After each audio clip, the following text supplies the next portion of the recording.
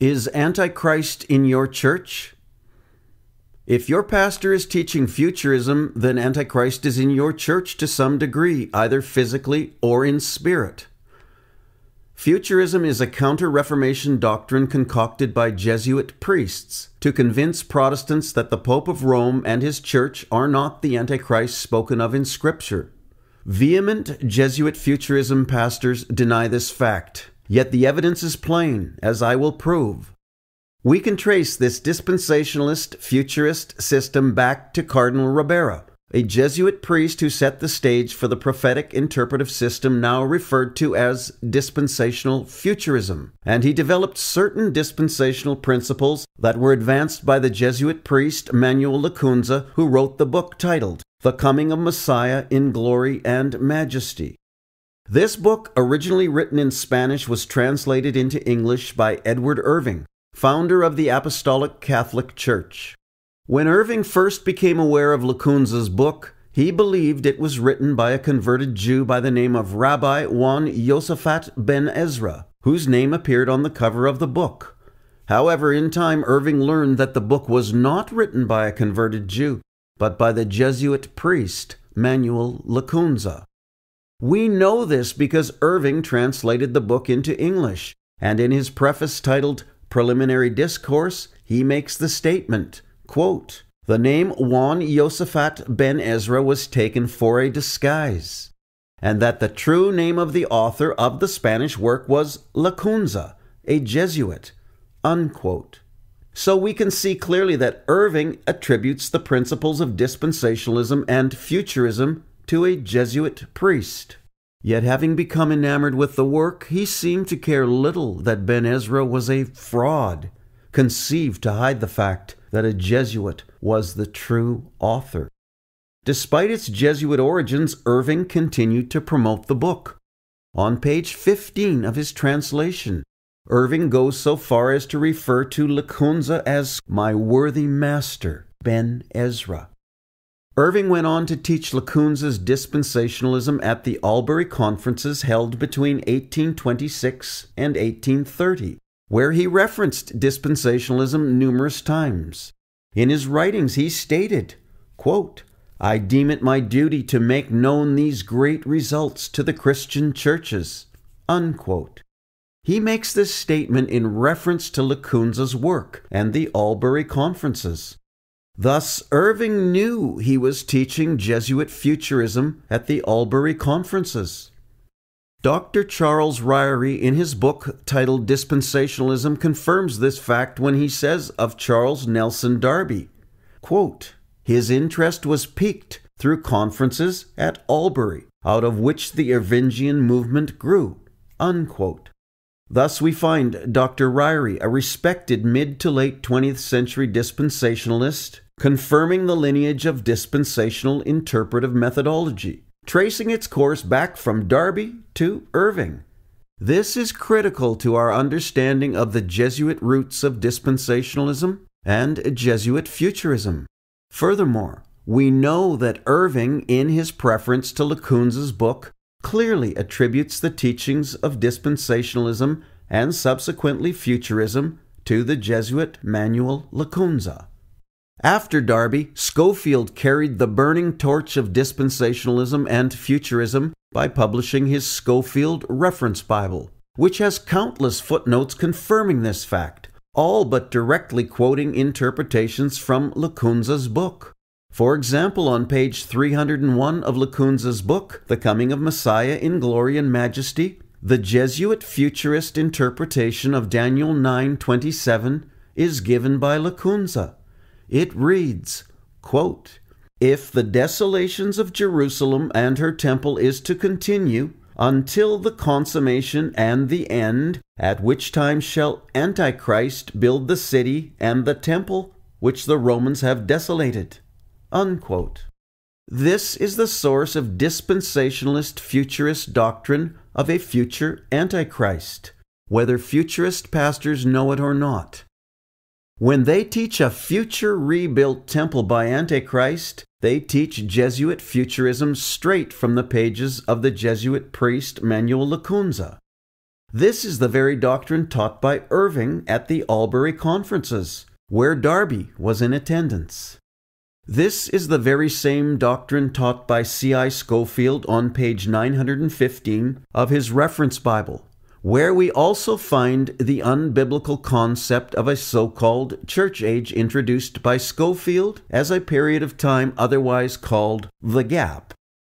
It is interesting to note that Scripture teaches neither a church age per se nor a gap of undetermined length between Daniel's 69th and 70th weeks. That too is something that can be traced back through Darby, Irving, and before them to Lacunza. This fact is confirmed on page 316 of Lacunza's book, The Coming of Messiah in Glory and Majesty, where he makes the following statement quote, But if this not much after be relative, then that time may be enlarged as much as they please and there is no setting limits on how much the immediately in the text really implies. Unquote.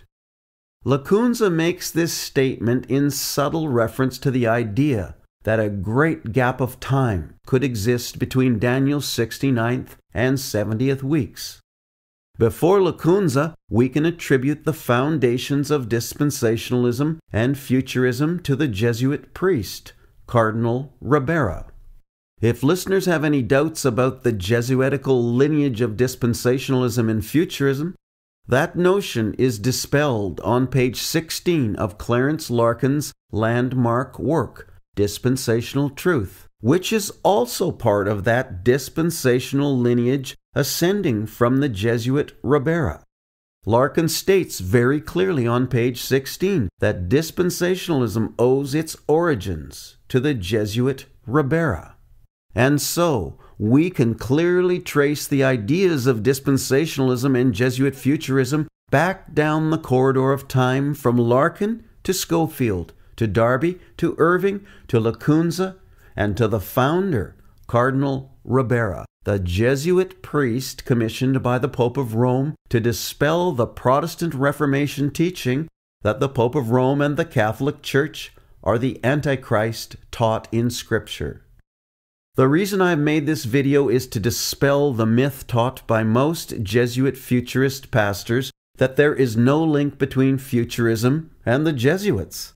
Clearly, pastors who teach this know nothing of history, and they deny the very writings of their predecessors that confirm that, in fact, futurism has its origins with the Jesuits.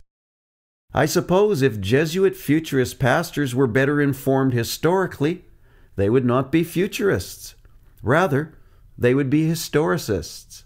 But that's a topic for another video. In closing, let me leave you with this. There are many sincere and true believers caught up in dispensationalism and Jesuit futurism. They've been taught it all their lives, and it's all they know. In fact, it's the predominant prophetic view among today's churches and pastors.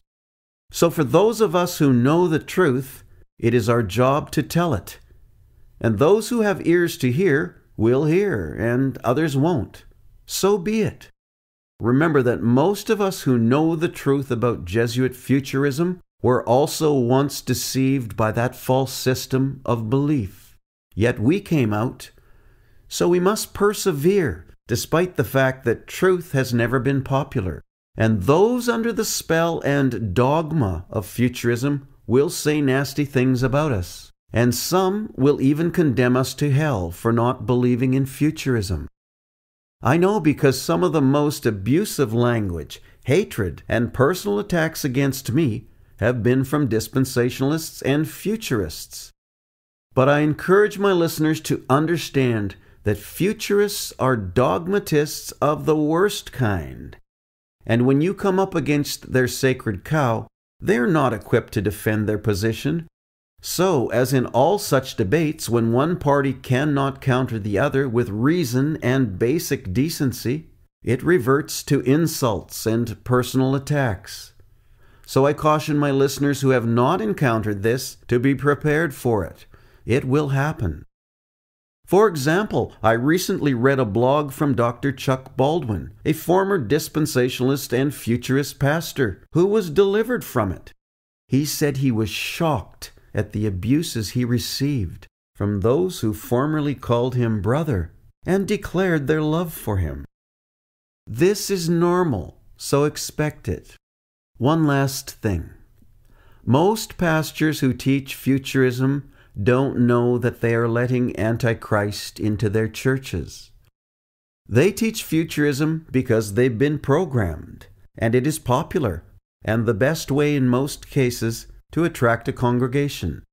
So don't be quick to believe that they are part of the Jesuit order. Most of them aren't.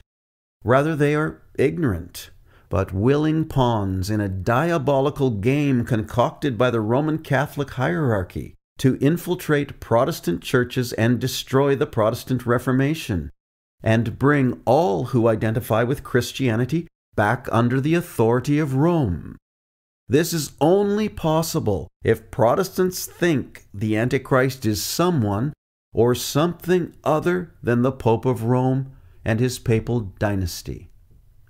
Thank you for listening.